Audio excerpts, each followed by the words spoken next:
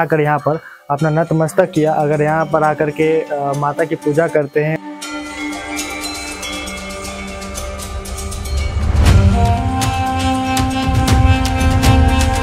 इस तरह सोलह बार वो चढ़ाई किया और सत्रहवा बार वो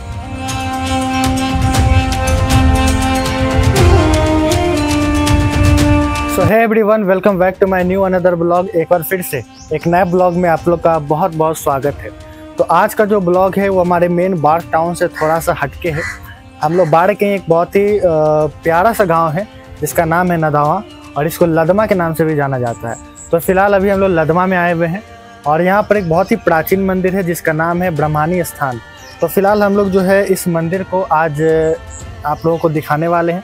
साथ ही इस मंदिर से जुड़ी हुई जो भी कहानियाँ हैं, जो भी इतिहास है, वो सारे चीज़ों को जानने की कोशिश करेंगे।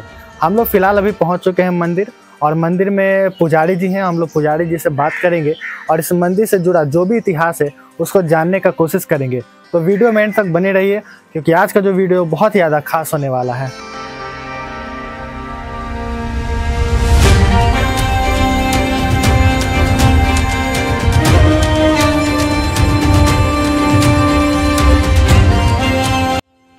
सो so, दोस्तों अभी हम लोग ब्राह्मणी स्थान मंदिर के प्रांगण में खड़े हैं और आपको बता दें इस मंदिर के बारे में तो आपको पीछे ये मंदिर का कुछ नज़ारा दिख रहा होगा।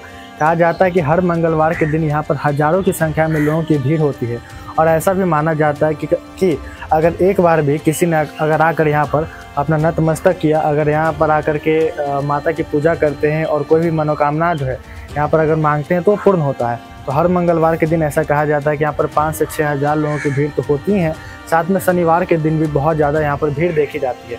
तो फ़िलहाल हम लोग अंदर जाते हैं और पंडित जी से बात करने की कोशिश करते हैं और जानते हैं सारी चीज़ों को।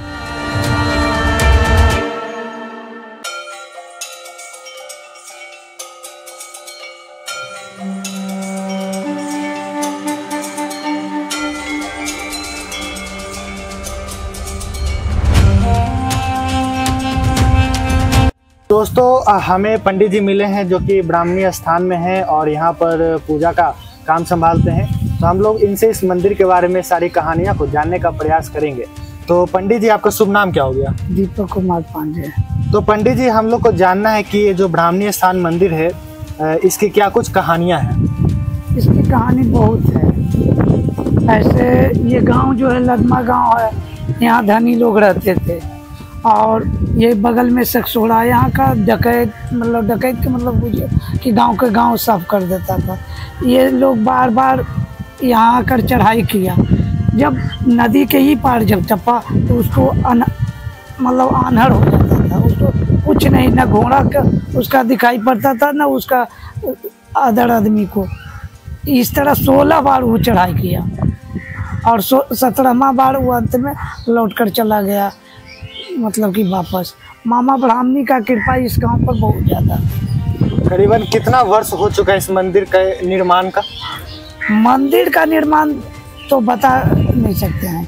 बहुत तो सौ बरस के लमसम मानिए। सौ वर्ष के। अच्छा इस मंदिर में किस दिन जो है अ, सबसे ज़्यादा भीड़ देखी जाती है? मंगलवार को। मंगलवार को। क्या कुछ खास होता है? मंगलवार को देवी का दिन है इसलिए यहाँ ज़्यादा भीड़ होती है। यहाँ कोई मेला वगैरह ऐसा कुछ लगाया जाता है इस मंदिर में? होता है कुछ? मंगलवार को आइए देखिए अपने कहिएगा कि ये वो अलग मेला ये है। अच्छा तो बहुत ज़्यादा भीड़ होता है उसमें बहुत ज़्यादा। कम से कम पाँच हज़ार से छः हज़ार के बीच पूरे दिन भर में? हाँ पूरे दिन भर में छः हज़ार के भीड़ आता है। और इस मंदिर में क्या कुछ क्रियाकलाप करवाया जाता है? यहाँ लोग अपने अपने मन्नतें मांगते हैं। मन्नतें पूरा होने के बाद नारियल वगैरह फोड़ते हैं। ब्राह्मण भोज भी करते हैं। खीर जमा कर कुछ लोग मुंडन भी करवाते हैं बाल बच्चे शादी अभी कुछ देरी के बाद आप देखिएगा यहाँ शादी भी होगा। करीबन इस मंदिर का जो फ़िलहाल अगर कहा जाए तो किस तरीके से जो विकास किया जा रहा है इस मंदिर का? मामा ये अपने आप विकास में ले रहे हैं। अच्छा। ये इनका कोई प्रचार और कोई अथी नहीं है ये अपने आप में ए, मतलब कि लोगों का दिल में बैठ रहे हैं। सुनते हैं कि इस मंदिर में जो लोग भी आते हैं जो भी मन्नत मांगते हैं पूर्ण हो जाता है। पूर्ण हो जाती है। इसीलिए आप आइए मंगल को ये, ये चीज़ ट्राई कीजिएगा अपने पता लगेगा कि क्या चीज़ है। और प्रसाद के रूप में यहाँ पर क्या चढ़ाया जाता है? प्रसाद के रूप में बतासा है पेड़ा है लड्डू है नारियल उत्तम माना जाता है। अच्छा। लोगों का भावना के कारण नारियल उत्तम माना जाता है नारियल फोड़ा जाता है और दूध का प्रचलन है, जो कि पिंडी पर मतलब कि ढारने का बहुत पुराना है। अच्छा। तो पंडित जी से हम लोग को बहुत कुछ जानने को मिला तो बहुत बहुत धन्यवाद पंडित जी, बहुत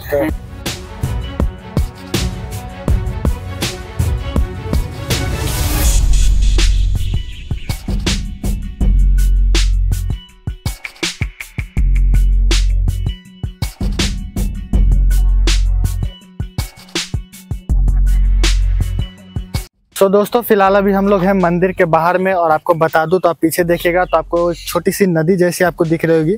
फ़िलहाल इसके बारे में बात करूँ तो ये मंदिर के बाहर के आपको सीढ़ियाँ भी दिख रही होंगी। तो जो छठ जब होता है ना तो यहाँ पे छठ में भी काफ़ी भीड़ होता है। जो भी लदवा नदावा गाँव के जो लोग हैं, वो यहाँ पर आते हैं। फ़िलहाल आपको दिखा दूँ तो ये कुछ घाट है और अभी पानी थोड़ा सा कम है, आप देखिएगा तो क्योंकि अभी गर्मी के सीज़न तो सूखा हुआ है। इधर देखिएगा तो सीढ़ियाँ जो है सारा डेवलप किया जा रहा है अभी। ताकि जो है छठ यहाँ पर अच्छे तरीके से किया जा चुके।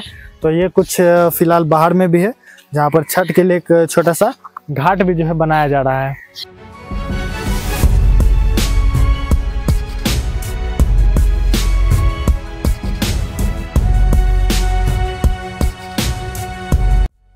सो दोस्तों, ये कुछ था लदमा गाँव का ब्राह्मणी स्थान, जो कि सैकड़ों वर्ष पुरानी है।